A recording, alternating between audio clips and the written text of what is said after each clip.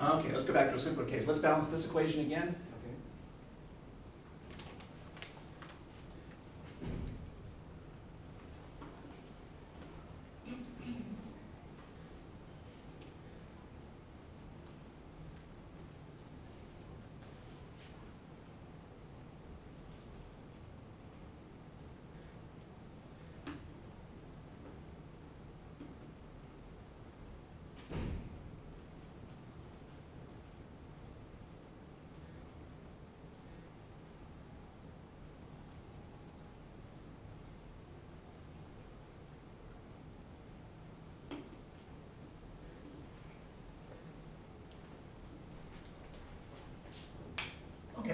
Got one, three, and two. Mhm.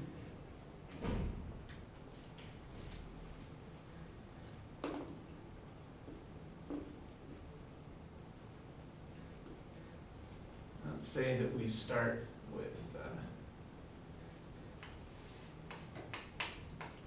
fifty moles. Fifty moles. And fifty moles.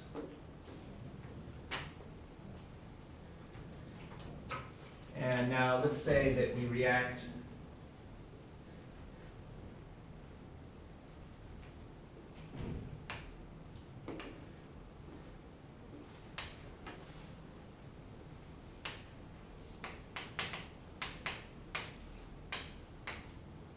One of the most useful tools for chemistry problems is start, change, end tables. Most students don't make nearly enough use of these start, change, end tables. So you write the balanced equation, and then you write start, change, end.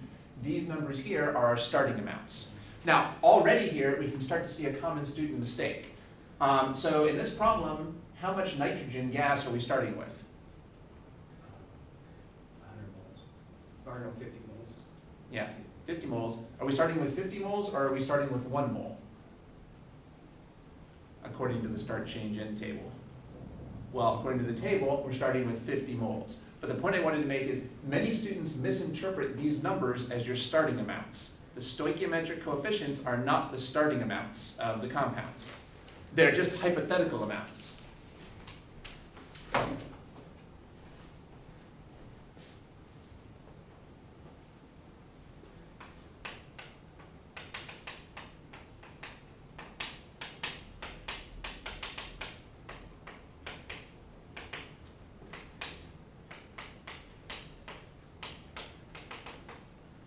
Maybe it helps to think about the sandwich equation.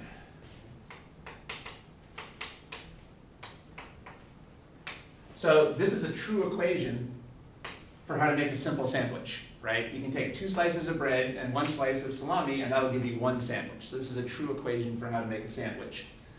All right, so let's say that these, uh, let's say these are the real sandwiches that I always make for lunch. I make these very simple sandwiches. Now suppose I asked you, how many slices of bread do I have in my cupboard? How many slices of bread do I have in my cupboard? Well, that's a trick question. The answer is, you have no idea. This equation doesn't mean I have two slices of bread in my cupboard. This is just hypothetical. This is saying that if I want to make one sandwich, that will require two slices of bread and one slice of salami. It's not saying that I'm actually making one sandwich. I could be making two sandwiches or three sandwiches, or maybe I'm skipping lunch and I'm not making any sandwiches. These numbers are just hypothetical. They don't actually tell you about the actual starting amounts, but that's a common mistake that students fall into. Um, in fact, if these were dozens, then I could even have fractions. Um, I might just, uh, so I might have a fraction of a dozen of sandwiches. Okay, so these are not the starting amounts. If you're just given this equation, you don't know the starting amounts. It's not until I actually wrote down these numbers that you knew the starting amount. So here I'm just telling you, I'm starting with 50 moles of this, 50 moles of this, and 50 moles of this. Okay, um, yeah, maybe uh, we should stick with the sandwich equation though for a second. So let's say that we start with 50 slices of bread, 50 slices of salami, and 50 sandwiches. So we're supposing that I've already made a lot of sandwiches.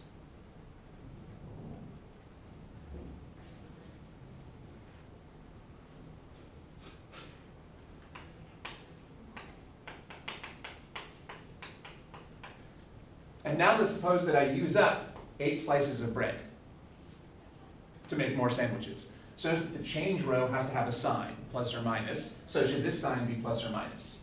Plu- Or plus, minus? If I use up bread, am I going to use up salami or make salami? In order to use up bread, I have to combine that with the salami, right? So if this is a minus, this has to be a minus as well, because they're both on the starting material side. And what should this change be? Plus or minus? Plus, if I'm using up bread, that's because I'm making sandwiches. So if these are both negatives, this has to be a positive. So we have to put the signs on the change row. These are supposed to be separate columns.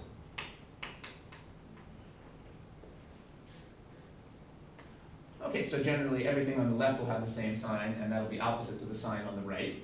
Now, if I'm using up eight slices of bread, how many slices of salami, salami am I gonna use up? Four. Not eight. That's the key. Um, so these numbers don't have to be the same as each other, which is a common student mistake. How did you figure this out? Using the stoichiometric coefficients. I said the stoichiometric coefficients were no good for figuring out the starting amounts. So what are they good for? They're good for figuring out the changes. Um, basically, this is telling us we're using twice as much bread as salami. These coefficients are telling us we have to use twice as much bread as salami. We don't have to use two slices and one slice, but we do have to have this number be twice as big as this number. So this number has to be twice as big as this number. And then, how many sandwiches am I gonna make? Four. Four or eight? Four. Good, all right, so you stood, stood your ground, that's right. Um, these two numbers are the same, which means that these two numbers should be the same. Every time we use one slice of salami, that allows us to make one sandwich. So if we use four slices of salami, that should allow us to make four sandwiches. Or you could just as well have used this number, because we know that when we use, um, this number should be twice as big as this number. So the amount of sandwiches we produce should be half the number of slices of bread that we're using. Of course, that's just our common sense, um, because we have two pieces of bread for each sandwich, the number of sandwiches is half the number of pieces of bread. So we're using a common sense example, so we have some intuition. All right, so one big lesson that we're getting here is these numbers don't have to be the same as each other. Of course, these numbers don't have to be the same either, I just chose to pick them to be the same. It's perfectly possible, though, that in your cupboard, you could have different numbers of bread and salami to start with. All right, how do you get these numbers? Well, you take one number and use the stoichiometric coefficients to get the other numbers. That's a very common stoichiometry problem. So how many slices of bread will we end up with? Forty-two. Right. And how many slices of salami? Forty-six. And how about over here? Fifty-four. Okay. So now we can see why this is called a start, change, end table. Uh, it's a really good habit during the test to actually write this out. Um, it's tempting during the test because there's so much time pressure to try to do things in your head. But it's a really good idea to actually write down these start, change, end tables. It helps you avoid a lot of mistakes. And also, on top of that, even if you don't do this every time during the test, you should be doing this every time in your practice because the, the act of writing these down in your practice will help you to digest the material better. So that maybe when the test goes around, you won't need to write these down every time. But when you're practicing, you should write these down every time so that you're internalizing the logic. Many people, when they do problems, don't even distinguish clearly in their minds between the stoichiometric coefficients, the starting amounts, the changes, and the end. So making this table forces us to see, realize that there's four different types of numbers that we're dealing with, which we might not even realize otherwise. So the problems are going to try to get us confused and try to confuse these numbers with each other, but they're all different types of numbers. Notice that only the change numbers get signs, because obviously the start and the end would always be positive or zero. So, but we always have to put a, a sign on the change. This is a very useful type of technique um, to use on lots and lots of different types of stoichiometry problems. Solution problems, acid-base problems, redox problems, um, lots and lots of problems, we're going to use this general approach. All right, I think it was pretty obvious here that if this was 8, this should be 4, and this should be 4, but how would you work that out mathematically? Well, you would work it out like this. You would say we have 8 slices bread, and then you would do unit conversion. Um, what, uh, Two slices for one salami. right, now we have to figure out what to put on the top and what to put on the bottom. Which Right. units should we put on the bottom? Bread. Yeah, slices bread. And on the top, well, if I'm trying to figure this out, I could put slices uh, salami. Uh, what number goes down here?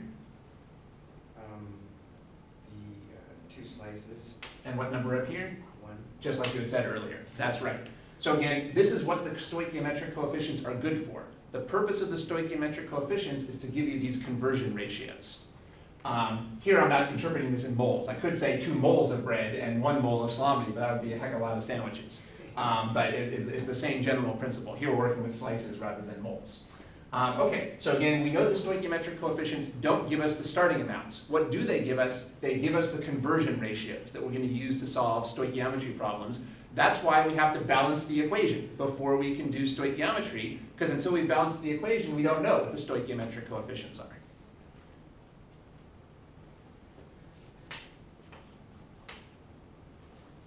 So here the slices of bread would cancel, and you would end up with four slices of salami, which is exactly what we had figured out before in our heads.